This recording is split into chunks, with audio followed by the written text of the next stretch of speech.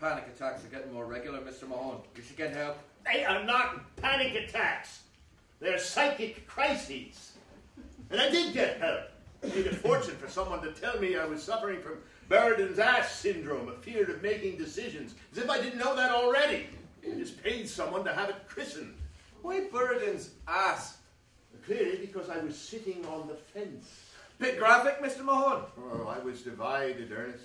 Averroes would have understood. Tahafut, all to half foot, the incoherence of the incoherence.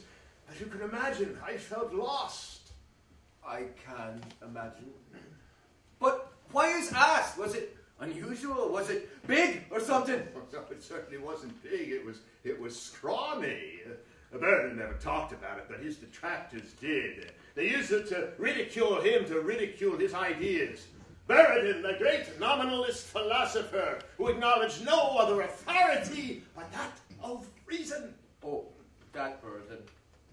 His enemies, his philosophical enemies, ascribed to him the bizarre metaphor of the ass who starved to death because it couldn't decide between which of two equal and equidistant bales of hay from which to eat. Do you see how no other image hits the spot? I do now. But have you decided to do anything? And become a taxidermist, for instance? Oh, I was born a taxidermist, Ernest. No, no choice there. Besides, Buridan's ass only rears its ugly head when the decision has some kind of emotional import. For me, it first started with a, a tragic experience with a turbot. A turbot? Yes. You mean a fish? Yes, Rhombus Maximus, the warty titan of the deep. You were emotionally involved? Yes. Although oh, not directly. Oh, I was going out with a woman named Frida Moxley who bred turbot. Frida the turbot breeder. Yes. Now, she wasn't just a turbot breeder, Ernest. She was a very attractive woman. Slinking among the breeding tanks in a snug fitting lab coat.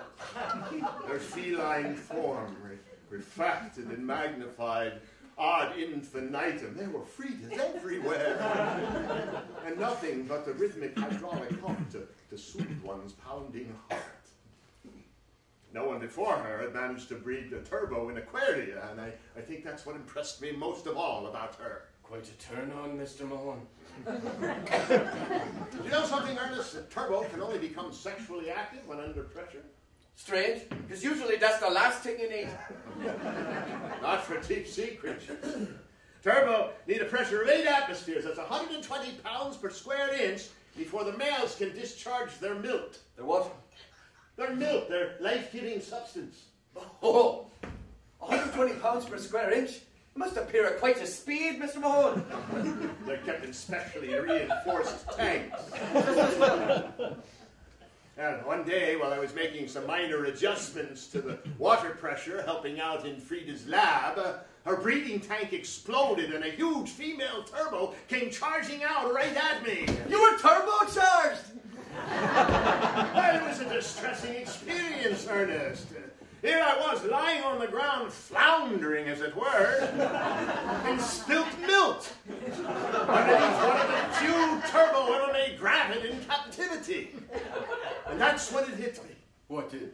Buridan's ass. Oh, Lying on top of me gasped the, the, the result of, of 15 years of scientific research, while on the other side of the room lay the un, unconscious form of Frida, whom to save. you were going to ignore Frida and save the fish? It was a feckin' turbot, Ernest! A genuine dilemma! So what did you do? Nothing.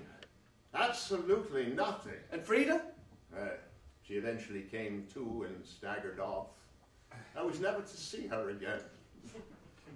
She faded into scientific oblivion, her career forever blighted by a morbid fear of pressure pumps.